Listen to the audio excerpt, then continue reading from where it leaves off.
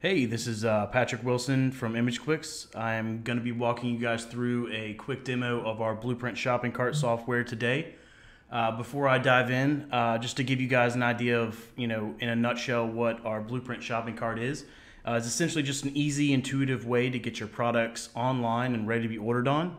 With one click, data and images flow to and from the shopping cart and to the lab for print.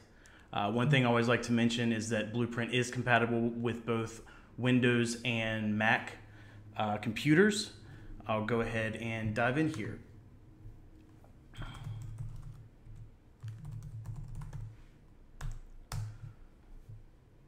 All right, so upon logging in, you're going to be brought directly into your account dashboard. This is designed to kind of give you at a glance how your studio is performing with just some generic financial numbers that you can see up here on the right that can easily be toggled from one year to 30 day. Um, you'll also see uh, that you've got uh, your lab fulfillment options here. So any lab fulfillments uh, that are assigned to your account, whether that be one or multiple, you will have that listed here for you. Uh, the first part I'm going to dive into is our shopping cart tab. So uh, really the way I typically go through these demonstrations is to kind of show the setup phase and then we'll kind of move into creating a job and show you what it looks like inside the job. If we move into our shopping cart template here, we've got our managed cart templates. So this is going to change the general look and feel of, of what your customers are going to see online just your general settings that you've got uh, to apply on there. Uh, we have a great custom form builder. So what this does is a great way to create any kind of uh, custom forms for your customers to fill out for, uh, you know, a pre-order, for example, to be able to easily assign those pre-orders to the correct subject. And then you'll also see here that we have our discount code creation. I'll dive in here to our cart templates. Again, we always encourage you to have as many different ones as you need uh, depending on the needs of the job. We'll go ahead and dive in. Uh, you can see we've got a wallpaper here. There's 20 or 25 preloaded in here. This is just kind of a backdrop wallpaper of what uh, mom's going to see when she goes online to place an order. You can see we've also got a little button, black button here for you to upload your own. Uh, the main other things here, just some customizable messages to be able to convey any messages that you'd like to uh, to your customers based off of the different state of the job as you see right here or with the thank you message that pops up as soon as uh, mom places her order. We've got a great watermark tool as well. You can use text, image, or in some circumstances, if you have a job that you do not want to watermark, you can certainly do that. Um, and then these next options are shipping and handling and tax options, which are pretty straightforward.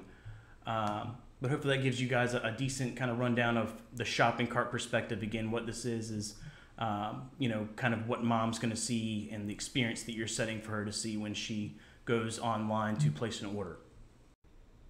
So what our My Designs tab is, is essentially a place to create all of your custom designs. So I'll go ahead and show you an example of a pretty standard memory mate here. Uh, you'll notice here over on the left-hand side that it is a uh, Photoshop-esque product builder and that it's a layered approach. So you've got background, images, foreground, and text as your top layer.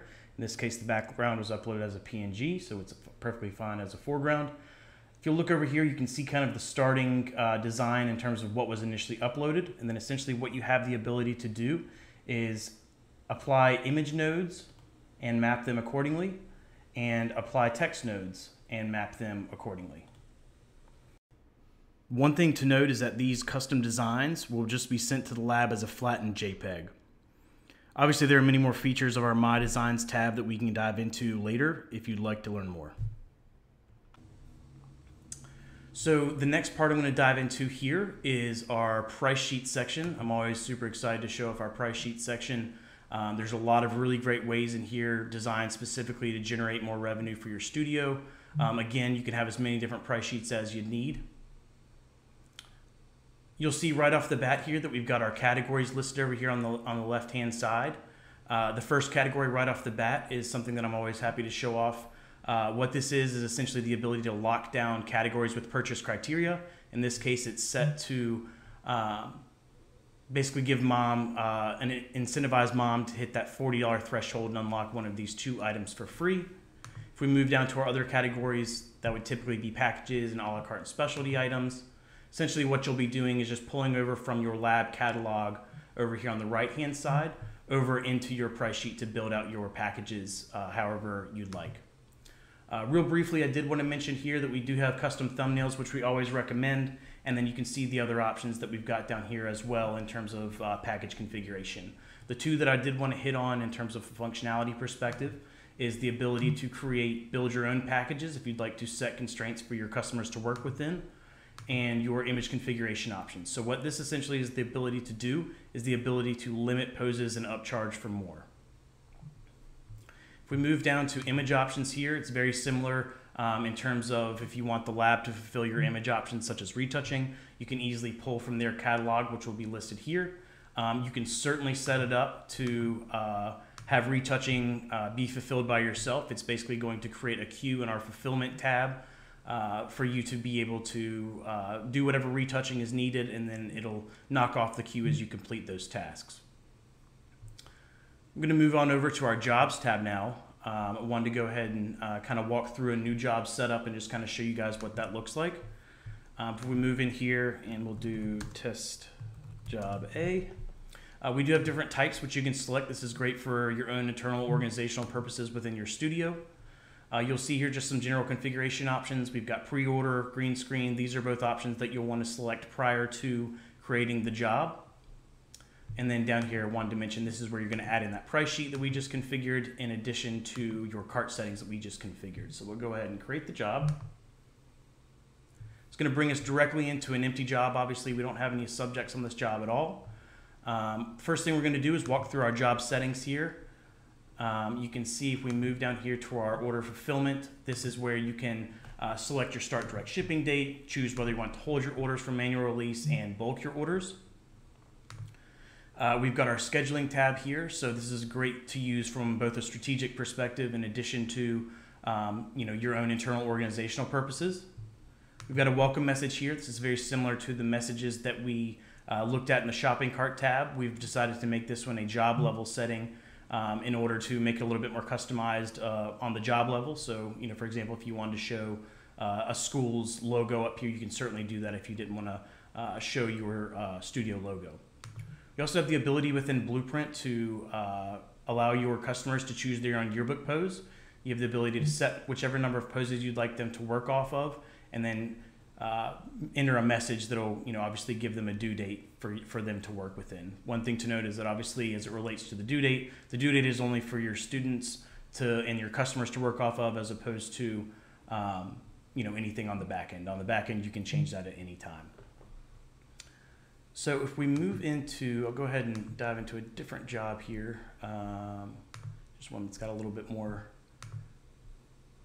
substance in here. One thing I always like to mention is that we do have both a job level dashboard in addition to an account level dashboard. So that way you can get some specific financial numbers uh, for on the job level as opposed to just your account as a whole. If we move into our subjects tab here, you can see we've got all of our list of subjects over here on the right. They've all got 100% unique online codes assigned to them, which Blueprint creates and generates for uh, each individual su subject, which are guaranteed to be unique. We have some really great filter options here for you to be able to use um, and work off of, whether it be filtering to show subjects without images, if you needed to export out a list, um, or filtering by camera to read into the serial number. Uh, we also have the ability here to uh, hide images, so you don't have to go to the effort of deleting images out of the job. Say a kid's sneezing or um, you know has their eyes closed or something like that. Um, you can easily just hide that image and it will not be shown on their shopping cart. You'll notice the uh, data and orders are over here on the right hand side, and that's a pretty consistent theme throughout Blueprint is the ability to see images, data, and orders all within one place or at least one click away. So if we click over here to our orders tab, I can show you an example of what one of our sample invoices is going to look like. Uh, obviously, in your case, it'll have your own studio insignia here, um, and it'll give mom and any other customers you have, you know, a great breakdown of exactly what they're receiving and what the different fees are that are applied which you all set yourself. Um, it's super easy to switch a job from active to inactive. So you can see up here on the right hand side, this job is currently inactive. We can easily switch this to active and we'll sync it. Just like that, the job's online, ready to take orders. The last little piece I did want to show you guys um, is the uh, find a subject button. So this is a really great tool from a customer service perspective.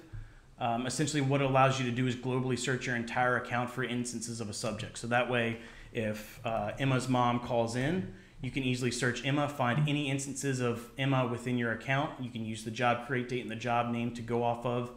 And then essentially, when you click on it, it's going to bring you right into that subject's uh, listing. So that way, if mom calls in and needs the online code, you can easily provide that. Um, or if she needs to have the order invoice resent, you can easily uh, resend the invoice email. So there's a lot of really great functionality within our Blueprint shopping cart tool. Um, I'd love to show it off uh, even further. Um, obviously, this is only just a snippet of what it's capable of, but uh, wanted to give you guys kind of an overview um, of what it what it looks like and, and how it works. And uh, feel free to reach out to support at imagequix.com or sales at imagequix.com to learn more, and uh, we'll be happy to assist. Thanks so much.